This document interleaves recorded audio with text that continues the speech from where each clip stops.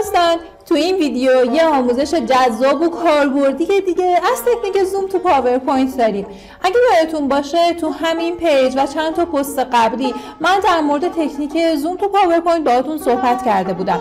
ولی این تکنیکی که اینجا بهتون آموزش دادم تکنیک زوم استاتیک تو PowerPoint بود. یعنی شما باید تنظیمات مربوط به زوم رو برای هر تصویر و تو هر اسلاید تکرار می‌کردید تا می‌تونستید روی یک جزء از تصویرتون زوم کنید. ولی تو آموزشی که امروز براتون آماده کردم تکنیک زوم dynamic تو PowerPoint رو یاد می‌گیرید و در واقع انگار مجهز به یه ذرهبین سیار موقع ارائه هستین و دیگه لازم نیستش که تنظیمات مربوط به زوم رو برای هر عکس مجزا انجام بدید. همونطور که دارید الان تو تصویر هم می‌بینید من الان یه بار تنظیمات زوم رو انجام دادم و مثلا گذاشتم که روی این بخش از تصویرم زوم بشه.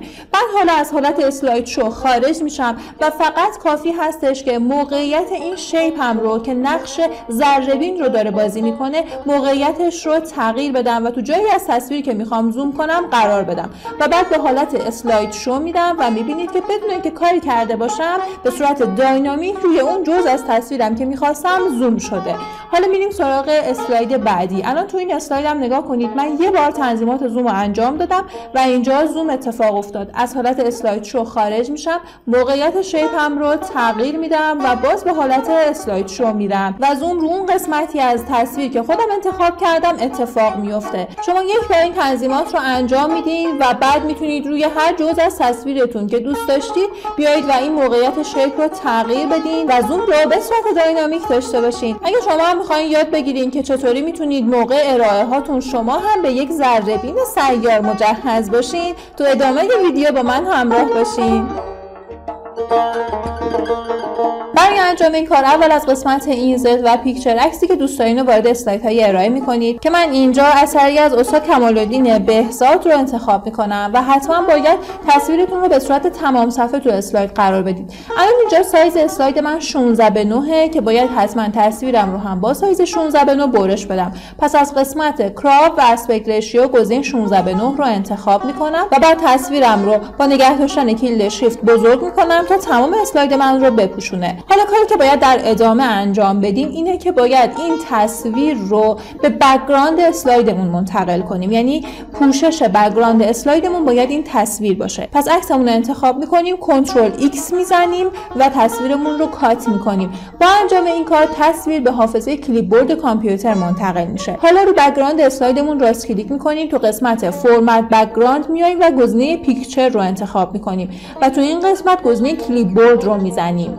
حالا عکس ما. از حافظه clipboard اومد و در background اسلاید قرار داده شد. حالا نگاه کنید وقتی من یکم از حالت زوم هم خارج میشم می‌بینید این عکس دیگه تکون نمی‌خوره و دیگه روی background اسلاید ما fix شد. حالا برای ساخت ذره بین هم از قسمت insert و همین shape های خود PowerPoint shape دایره رو انتخاب می‌کنیم و تنظیمات مربوط به outline و fill ش رو باید اینجا انجام بدیم. یه رنگی رو به دلخواه انتخاب می‌کنیم و ضخامتش رو هم اینجا تنظیم می‌کنیم. حالا نکته مهم تو این مرحله این هستش که روی shape تون حتما باید راست کلیک کنید و تو قسمت format shape و بخش fill حتما باید گزینه slide background fill رو انتخاب کنید.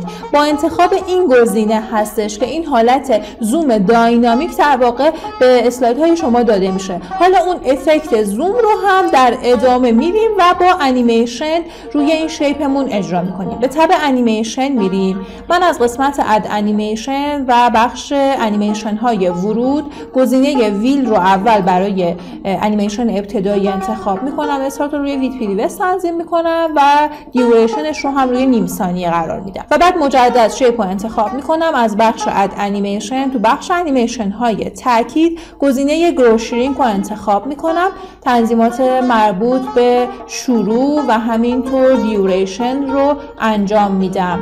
همین تموم شد. و الان شما مجهز به یک ذره بین dynamic موقع ارائه هاتون هستین. بریم یه بار خروجی کار رو ببینیم. به همین راحتی می‌تونید روی هر جزء از تصویرتون که خواستین زوم کنید. حالا برای تغییر موقعیت باز از حالت اسلاید رو خارج میشم. موقعیت این شیپ رو تغییر میدم و تو حالت اسلاید رو می‌بینیم که زوم رو اون قسمت اتفاق افتاد. این تکنیک مخصوصا برای نمایش و تصاویری که جزئیات خیلی زیادی داره می‌تونه خیلی بهتون کمک کنه. امیدوارم که این آموزش براتون مفید بوده باشه. اگه این آموزش رو دوست داشتید می‌تونید برای دوستانتون هم ارسال کنید و همینطور بهتون پیشنهاد می‌کنم که خودتون هم این کار رو تمرین کنید و هر سوالی که داشتین تو کامنت ازم بپرسین.